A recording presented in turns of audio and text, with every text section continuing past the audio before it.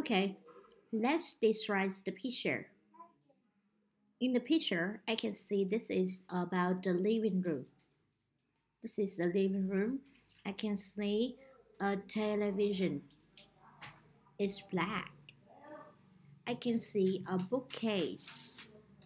On the bookcase, I can see many books, flowers, radio. I can see two pictures on the wall. This is the first picture and this is the second picture. I can see the girl is playing the toy car. I can see the boy is drawing something. In the living room, I can see one lamp and four armchairs. Okay, let's practice.